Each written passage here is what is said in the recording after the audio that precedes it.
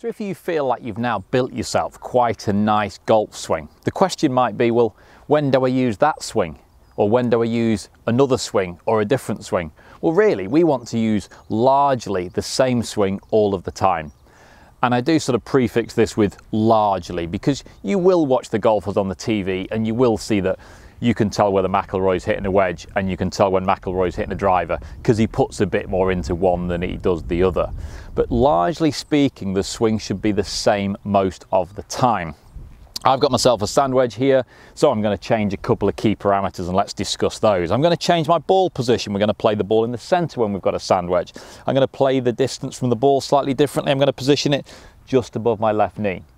From that position, my takeaway halfway back, top position, transition, impact, extension and follow through are going to be largely the same. I certainly don't want to be leaning back and scooping one or driving onto my front leg and losing my balance too much.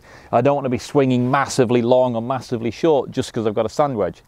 If I'm chipping, it's different. But if I'm hitting full sand wedges, full pitching wedges, my setup, my swing, my follow through, is going to be largely the same. As I change to a 7 iron now, the changes are ball position slightly different, distance away from the golf ball is the same, but the club is longer, so yes, I'm slightly further back. Ball position slightly ahead of centre.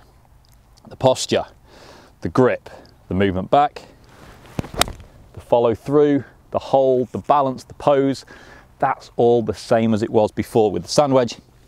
And lastly, the fun one, the driver, this time we're going to change the ball position so it sits right up against the lead instep, so it's right up against my front foot. I'm going to position the distance away from the ball the same as it was before, just above my kneecap, like it was with the seven, like it was with the wedge. This time I'm going to make the same takeaway, halfway, top position, transition and smooth through to a good balance position. And I hold my balance all the time the ball is in the air until it lands.